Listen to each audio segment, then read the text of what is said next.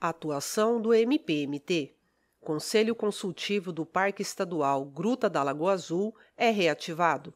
O município de Nobres, localizado a 146 quilômetros de Cuiabá, deu um importante passo para o reforço da atividade turística na região e a retomada da visitação à Gruta da Lagoa Azul, interditada há cerca de 20 anos esta semana, após articulação do Ministério Público do Estado de Mato Grosso com a Secretaria de Estado de Meio Ambiente, SEMA, foi reativado o Conselho Consultivo do Parque Estadual Gruta da Lagoa Azul, criado em dezembro de 2014.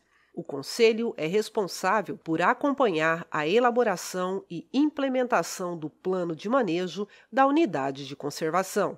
Abre aspas o parque tinha um conselho instituído, mas na prática não funcionava. A efetiva atuação do grupo é o primeiro passo para a retomada da atividade turística na região, porque é justamente o papel do conselho gerenciar o parque. Fecha aspas, explicou o promotor de justiça William Oguido Ogama. O representante do MPMT conta que a instituição foi procurada por representantes da sociedade que tinham o desejo de usufruir da área de forma legalizada.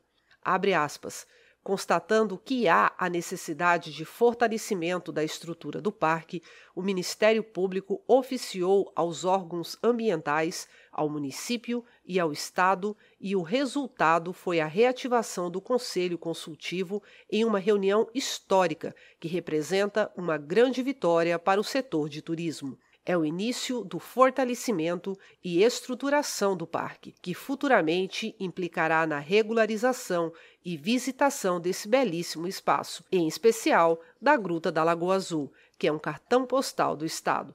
Fecha aspas, acrescentou.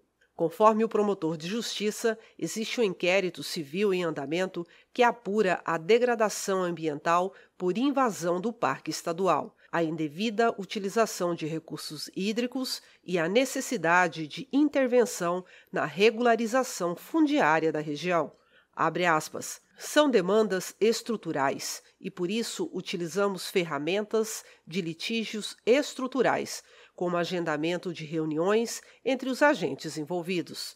Já foram realizadas seis reuniões e serão agendadas outras para buscar efetivar os objetivos de acordo com os diagnósticos constatados e reavaliados. Fecha aspas, esclareceu.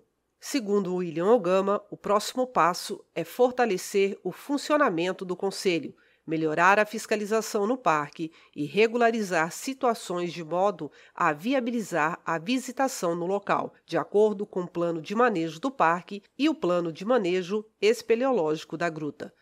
Este conteúdo é produzido pelo Ministério Público do Estado de Mato Grosso.